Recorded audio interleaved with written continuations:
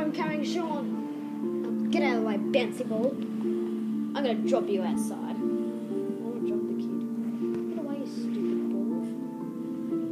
Blah. I thought he wasn't asleep. Oh, I'm too strong.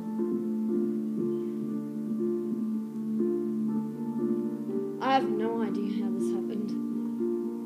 Get rid of this kid. I hate him. Ew, he stinks.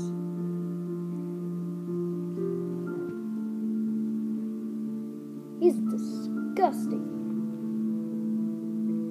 Alright, Sean.